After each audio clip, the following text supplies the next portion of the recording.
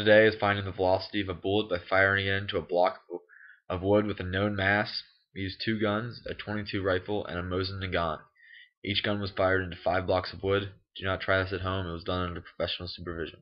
This is the standard 22 long rifle bullet. It is .0026 kilograms in mass and was the first bullet shot. it does with pendulum.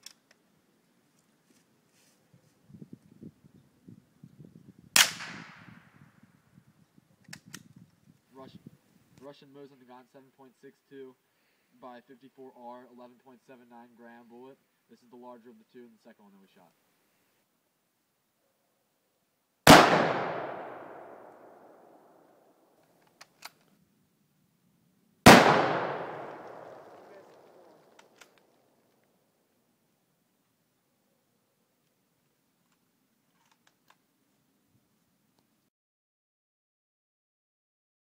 Velocity of both the 22 long rifle and the Mosin Nagant 7.62 by 54 round.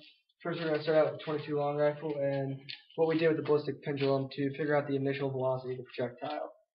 First of all, we used this equation right here and plugged in all the things that we knew.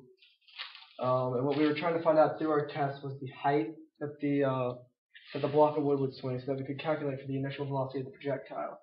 So we plugged in the mass of the 22 caliber bullet, the mass of our 8 pound log, and then we uh, we did 2 times little g, which is 9.8, um, times 0.05 meters, which is the distance that the block of wood sw uh, swang from the 22 long rifle bullet.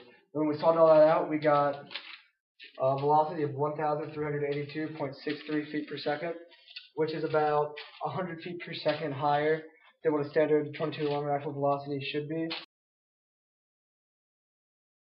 Russian Mosin Nagant 762 by 54R round, and we used a 11.7 gram bullet, as you can see here. It's just like previous, like we did previously. We just plugged in our knowns into our equation.